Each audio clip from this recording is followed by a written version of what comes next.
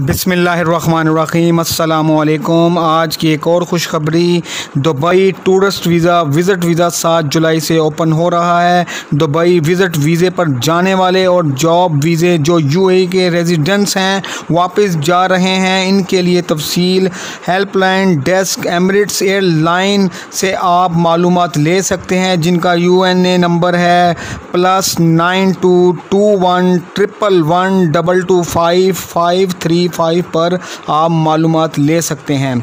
जिनका visa Dubai का नहीं है, यानी Abu Dhabi, Ajman, Sharjah, Fujairah का है, उनके लिए आई सी ए की अप्रूवल लेना होगी। अगर आपके पास दुबई का वीज़ा है तो इसके लिए आपको G D R F A की अप्रूवल लेनी होगी।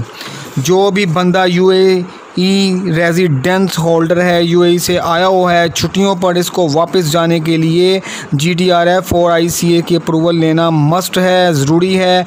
अब टूरिस्ट वीज़े के मतलब आपको बताते हैं टूरिस्ट वीज़े पर जाने वालों के लिए विज़िट वीज़े के लिए जो कि सात जुलाई 2020 से ओपन हो रहा है। इसमें जो ज़रूरी चीज़ें हैं, इनके लिए आपको हेल्थ क्वारंटाइन डिक्लेरेशन फार्म होना चाहिए।